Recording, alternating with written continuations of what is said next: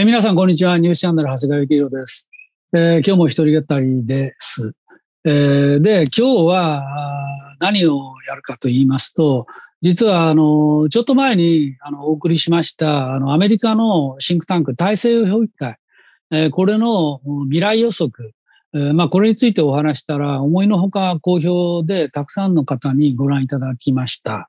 で、でもですね、私、後で、まあ、ちょっと後悔したっていうか、あの、反省したんですけども、実はあの、未来予測でせっかく数字のデータがあるのに、それを全部口で喋ってしまってですね、あの、実はグラフがある、グラフで示されてんだけど、そのグラフを全然ご紹介しなかった。ちょっと準備が間に合わなくてですね、あの、しなかったんで、えー、今日はちょっと改めてそのグラフを含めて、えー、いろんな予測。まあ、前回あの台湾侵攻はあるのかみたいな話を中心にやりましたけど、あの、それ以外にも実はこの大西洋評議会が出した2023年のこの新年に際しての10年後の予測。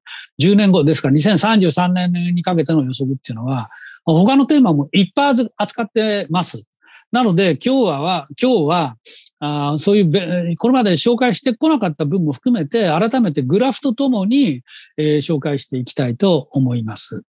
で、まず最初、これ前回触れてグラフ示さなかったあ分ですけど、台湾侵攻はあるのかっていう、どのくらいあるのかっていうふうに見てるかっていう、これのグラフです。これをちょっと出していきたい、いきたいですね。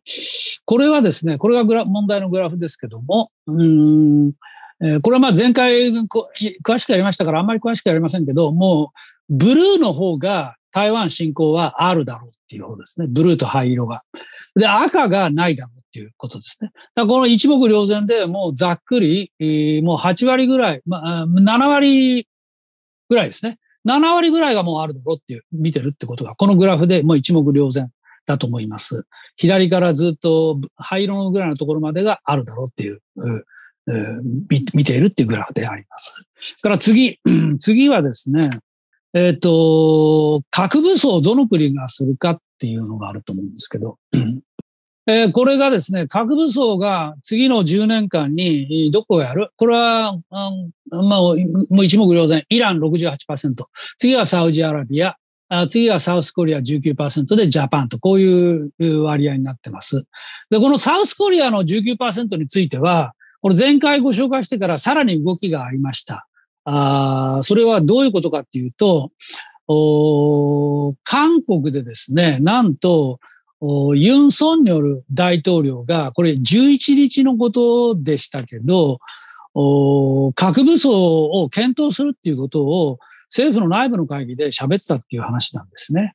で、これ日本でほとんど報じられて、えー、ま、ません。で、このようについては、あの、実はニコ生の方でも私喋りましたけど、韓国ではこの核武装問題について、まあ、かなり国内でも前向きなんですね。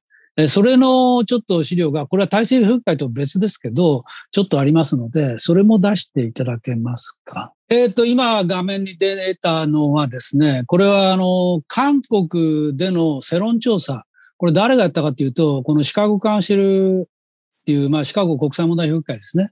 それから、カーネギー国際、えっ、ー、と、平和財財団です。それが去年の2月に調査した結果でありまして、上の67%。これ何を示しているかというと、韓国は自前の核兵器を開発すべきだ。これに賛成っていうのが、これがなんと67%なんですよ。それで一番下、一番下の9っていうのは、米国はあ韓国と、韓国にもう一度核兵器を配備すべきだ。これが9ですね。えー、つまり米国は、あの、もう一旦、あの、韓国から核兵器を撤収しました。あこれは金正恩との、北朝鮮との合意があってですね、あの、まあ、一遍、一遍撤収したんですよ。でも、その後、金正恩は約束破って、えー、核実験なんかをしたということがあるので、で、実際、まあ、核の脅威も高まってるってことで、米国はもう一遍韓国に核兵器を再配備すべきだった。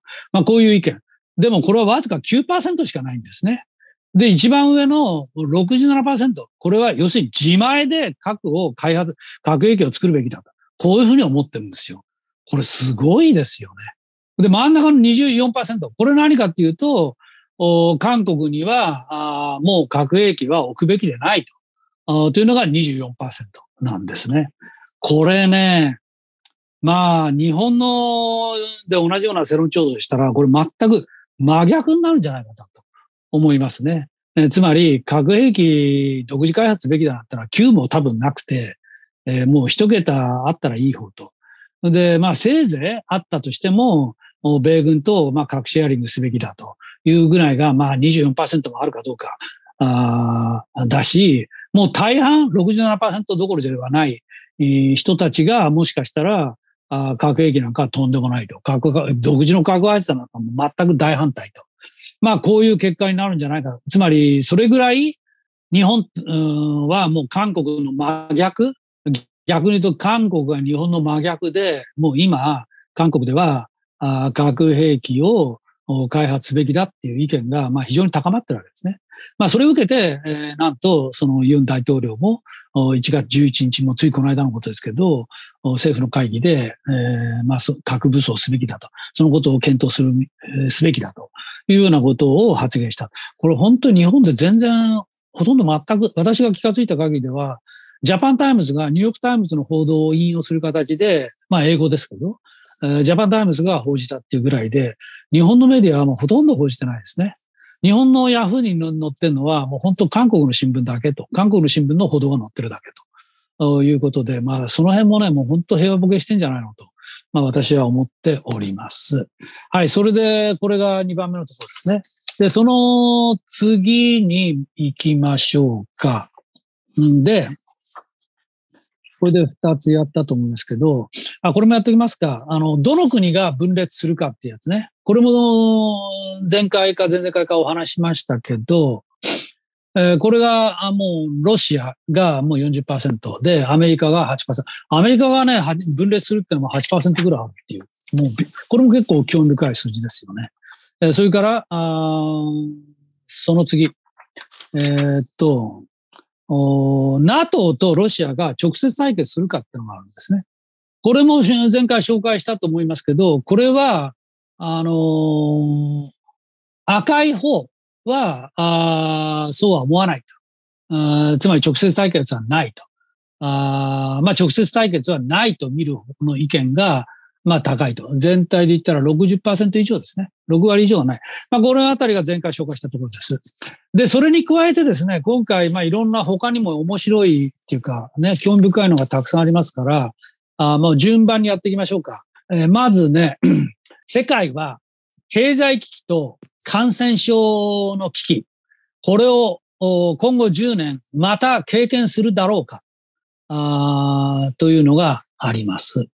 で、これはですね、えー、2033年まで、つまり今から10年後ですね、えー、にあるかっていう、それで回数、1回ある、2回ある、2回以上もっとあるっていうやつですけど、上の方、これは、あの、エコノミックライス、つまり経済危機ですね。2008年から9年、これはつまりリーマンショックです。リーマンショックのような規模の経済危機が今後10年間に1回ないし2回はあるか。まあこういう質問です、ですけど、1回ある。これがまあグレーがかってるところですけど、これなんと76%。で、2回以上あるってのは19%。合計したらいくつですか？これ95%ですよ。95%は経済危機がこの10年間にまた来ると。こういうふうに見てるってことです。これはね、うん、私もね、あるかなと思いますね。まあ、これまでの例を踏まえれば。あこれね、専門、何度も言ってますけど、これ167人だったかな。もう160人以上の世界の専門家のあのアンケート調査ですよ。だから専門家は、もう95%経済危機がまたこの10年に必ず来る。しかもリーマン危機並みだっていうのがあるんだって、こういうふうに見てる。これはまあ結構驚くべき数字ですよね。で、下の段。下の段は、このコロナのようなパンデミックがまたあるか、こう聞いてるわけです。これによると、これまたあ1回以上あるで合計65%ですよね。1回はある。少なくとも1回あるが49で、2回以上があるが16ですから、まあ、6割、65%が、この感染症危機はもう一回この10年間にあると。こういうふうに見てるということでございます。これもね、なかなか興味深いなと、まあ思いますね。えー、で、次行きましょうか。あまあ、いっぱいいろんなのあるんで、もう純不動でやりますけど、アメリカ、アメリカがまあいろんな優位性、軍事力はじめ、いろんな優位性があるのはもう皆さん全員同意だと思いますけど、アメリカの優位性っていうのは一体どの分野であるのか。まあこういう、えー、意見も聞いております。これによりますと、一番上、ミリタリーパワー、軍事力ですね。これ71%がアメリカはもう軍事力がもう突出していると。2番目はテクノロジカルイノベーション。まあ技術革新ですね。技術革新で半分以上。それからエコノミックパワー、経済力。その下はディプロマティックパワー、外交力。で、まあ、どちらでもないっていうのが17%っていうことで、まあ、以上4つ、上の上から4つ見れば、軍事力、技術革新力、それから経済力に外交力。これが、まあ、アメリカの力。まあ、これが、あの、ワーズドミナンスっていうふうに書いていますので、ドミナントパワーって書いてありますので、まあ、これが世界で支配支配的な力を持つだろうっていうことですね。えー、これがアメリカですね。で、次。次はね、じゃあ今度これやりましょうか。米中の相互依存関係。今、ディカップリングとか言われてますよね。アメリカは中国ともディカップリングして、もう一切もう縁を切るんだと。こういう話。これがね、どう、この相互依存関係っていうのが、一体どうなっていくのかということについても聞いております。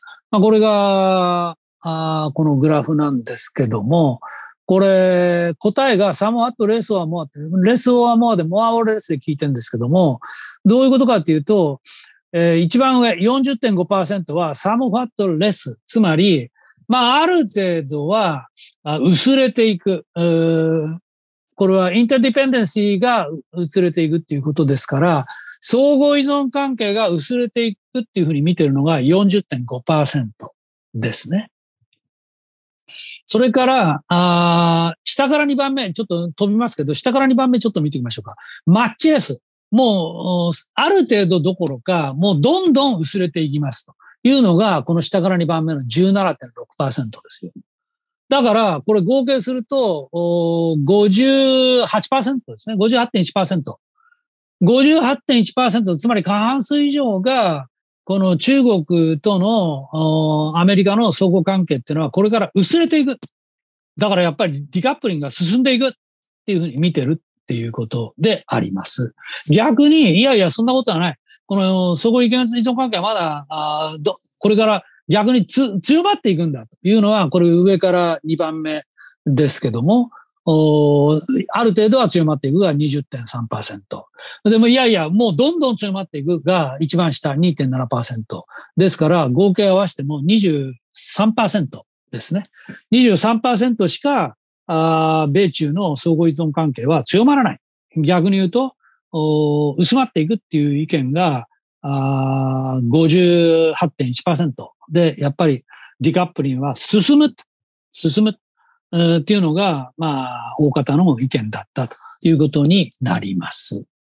で、次。次はですね、えー、民主国家は増えていくのか、どうなるのか。これをやりましょうか。これ。えー、これはね、世界で民主国家は増えていくのか、それとも減っていくのかっていうことですね。これはね、えー、分かれましたね。えー、まあ大体分かれた。で、えー、世界はあ民主国家が減っていく。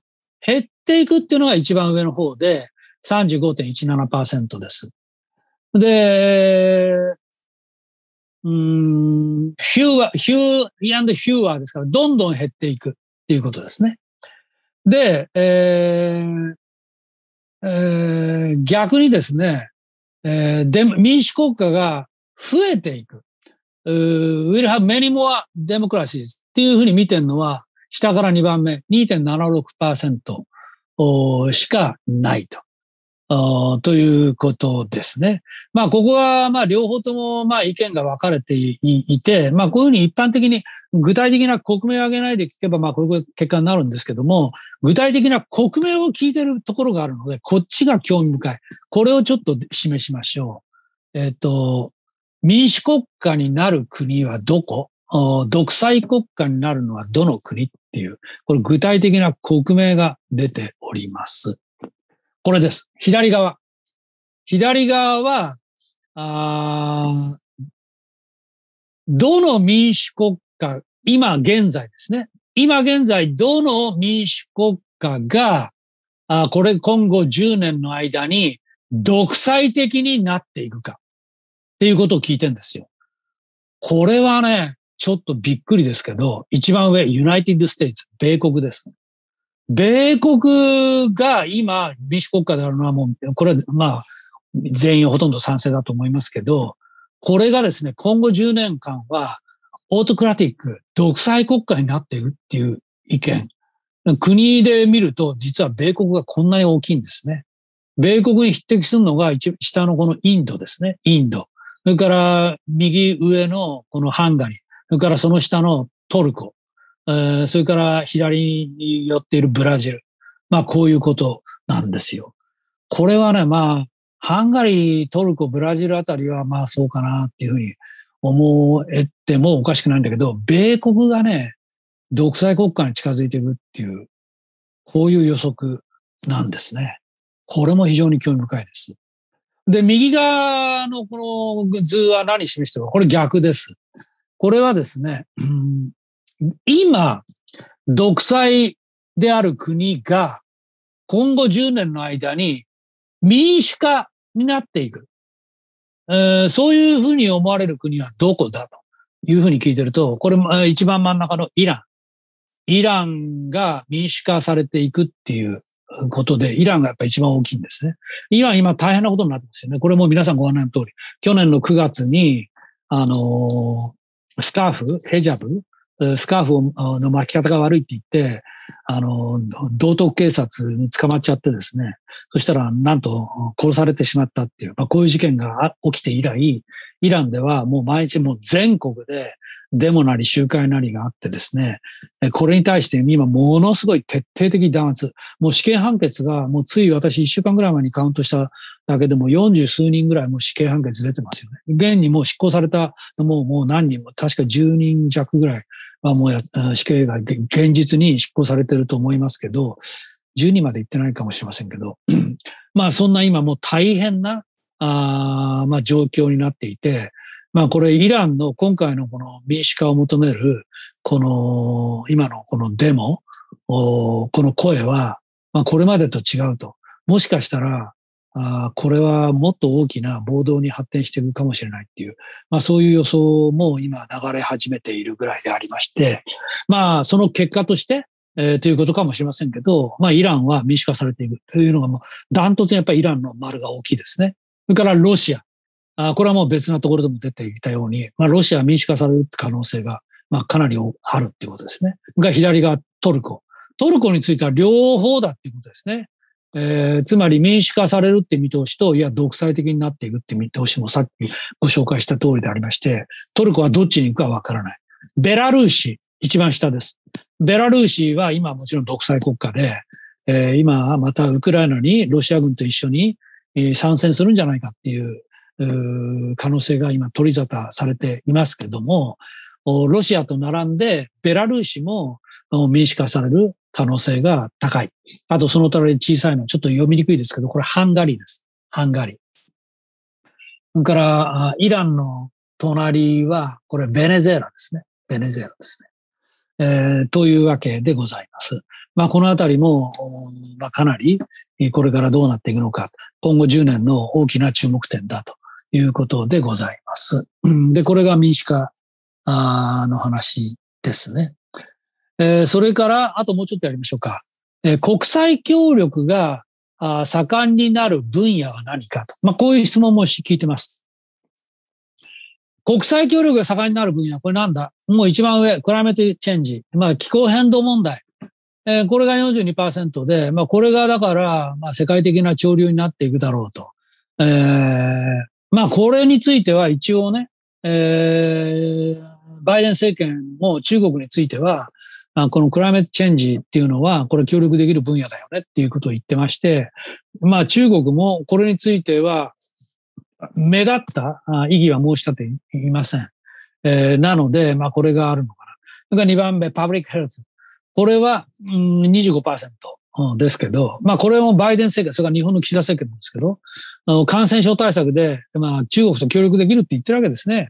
ところがもうこれはもう明らかです。これは中国が協力してません。現実に。WHO のいろんなデータ提供を求める協力要請に対しても中国はもう非常に後ろ向き。まあ一部、ほんのもう確証もなくなってしまったゲノム情報なんかは提供してるようですけど、私はもしかしたら、っていうかもうかなりそう疑ってるんですけど、あの、本当に出てきた新変異株みたいなのが出てきたときに、ゲノム情報を WHO に直ちに提供するとはとても思えませんね。まあ、3年前のそもそもこの新型コロナが問題になった時のこの非協力的態度。これを見ても中国がこのパブリックヘルスですね。あの、世界と協調していくなんてことはちょっと考えにくい。あと、協力、興味深いのはね、下から3番目ですよ。Nuclear nonproliferation。つまり核不拡散。核不拡散問題では、あまあまあ、協力が進むなんて思ってる人はもうわずか1%しかいない。1%しかない。ということは、この、核不拡散体制、まあ NPT 体制って言われますけど、この核不拡散体制っていうのは、まあ事実上、まあ今でも崩壊しているわけですけども、崩壊しかかっているわけですけど、まあこれについては、まあ協力は進まないというふうに見る見方が、まあ大半だということでございます。えー、で、次。えー、次はですね、えー、と、どんな社会運動がこれから盛んになってくるかと。こういうことについても聞いております。えー、これはですね、社会運動です。あまあですから、まあ、あの、望月さんなんかは得意な分野だと思いますけど、まあまあそうじゃないか。まあ望月さんのことはさておいて。一番上、ナショナリストムーブメント。つまりまあ、ナショナリズムですね。えー、まあ、なんて言ったらいいんだろう。民族主義運動っていうかな。あまあ、このナショナリストムーブメントっていうのが、あ盛んになる。これは28%。それと同様に、ポピュリストムーブメント。もう、このポピュリストっていうのは、まあ別に、あの、途上国であるわけでなく、アメリカでもこれポピュリストみたいな議論はもう非常に盛んになりました。ああ言われました。あというわけで、これがポピュリストムーブメントっていうのが同じく28%。 Environment movement。まあ、要するに環境をめぐる運動。まあ、これも環境活動家、まあ、いっぱいいますね。グレタロウとか。まあ、グレタロウじゃないか。あ まあ、彼女とかね。えー、彼女なんか逮捕されちゃったらしいね。えー、こういう運動がまあ20%。それから youth movement 8%。あ women's movement、これ5%。それから、プロデモクラシームーブメントですね。さらにはレリジャス。まあ、これは宗教運動。というわけで、まあ、大きいのは、このナショナリスト運動、ナショナリズム運動とポピュリズムの運動。これがまあ大きくなるだろうと。まあ、こういうふうに見られているわけであります。えー、というわけで、えー、まあ、いくつか紹介してきましたけど、まあ、このあたりは、なかなか興味深いところですね。あの、世界予測、世界の予測っていうと、まあ、非常に有名になっちゃったのは、あの、例のユーラシアグループ、イアン・ブレマー氏がやってるユーラシアグループのせあ予測っていうのが、まあ、テレビ、新聞でも非常に報じられていますけども、まあ、今回、前回も含めて2回にわたってご紹介したこの大西洋評議会。これは、あの、一人の個人や機関の予測ではなくて、世界中の有識者、専門家167人だったと思いますけど、から聞いたそれではアンケートっていう意味で、まあそういう意味で、まあ非常に、まあ平準化されてるっていう意味で、まあ興味深いと思います。まあこれも皆さん、もしかしたら投資家の方なんかもいらっしゃるかもしれないけど、ししませんけど、まあ今後10年こういう潮流だよね。ご参考になれば幸いであります。というわけで今日は、あ大西洋評議会の有識者アンケートから紹介させていただきました。どうもありがとうございました。